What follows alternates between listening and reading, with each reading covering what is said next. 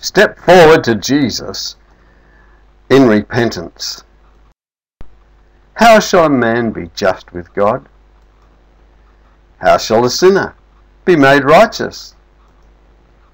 It is only through Christ that we can be brought into harmony with God, with holiness. But how are we to come to Christ? Many are asking the same question as did the multitude on the day of Pentecost, when, convicted of sin, they cried out, What shall we do? The first word of Peter's answer was, Repent. At another time, shortly after, he said, Repent and be converted, that your sins may be blotted out. Repentance includes sorrow for sin and a turning away from it. We shall not renounce sin unless we see its sinfulness. Until we turn away from it in heart, there will be no real change in the life. There are many who fail to understand the true nature of repentance. Multitudes sorrow that they have sinned and even make an outward reformation because they fear that their wrongdoing will bring suffering upon themselves. But this is not repentance in the Bible sense. They lament the suffering rather than the sin.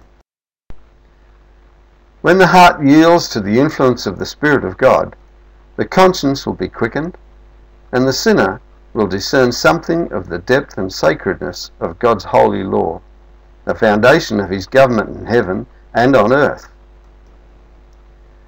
The light which lights every man that comes into the world illumines the secret chambers of the soul, and the hidden things of darkness are made manifest. Conviction takes hold upon the mind and heart.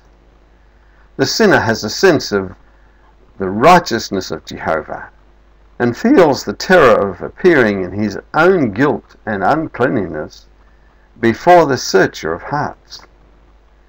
He sees the love of God, the beauty of holiness, the joy of purity. He longs to be cleansed, to be restored to communion with heaven. The prayer of David after his fall illustrates the nature of the true sorrow for sin. His repentance was sincere and deep. There was no effort to palliate his guilt. No desire to escape the judgment threatened inspired his prayer. David saw the enormity of his transgression. He saw the defilement of his soul, and he loathed his sin. It was not for pardon only that he prayed, but for purity of heart. He longed for the joy of holiness to be restored to harmony and communion. Just here is a point on which many may err and hence they fail of receiving the help that Christ desires to give them. They think that they cannot come to Christ unless they first repent, and that repentance prepares for the forgiveness of their sins. The Bible does not teach that the sinner must repent before he can heed the invitation of Christ. Come unto me, all ye that labour and are heavy laden, and I will give you rest, said Jesus.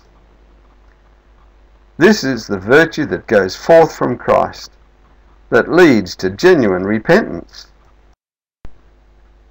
You who in heart long for something better than this world can give, recognize this longing as the voice of God in your soul.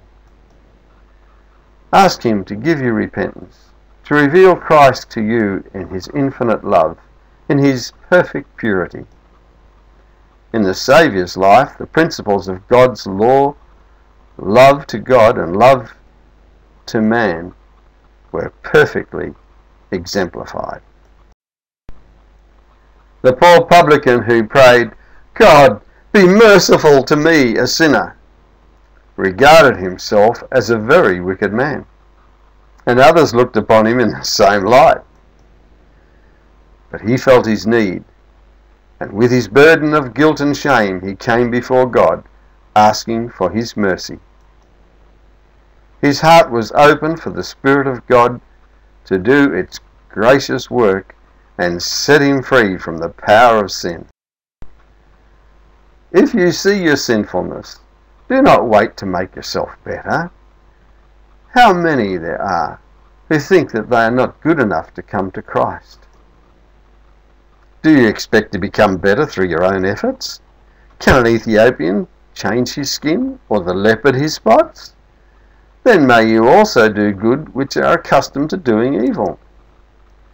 There is help for us only in God. But let no one deceive themselves with the thought that God, in his great love and mercy, will yet save even the rejecters of his grace. It is when we most fully comprehend the love of God that we best realize the sinfulness of sin. When we see the length of the chain that was let down for us, when we understand something of the infinite sacrifice that Christ has made in our behalf, the heart is melted with tenderness and contrition. Wonderful love.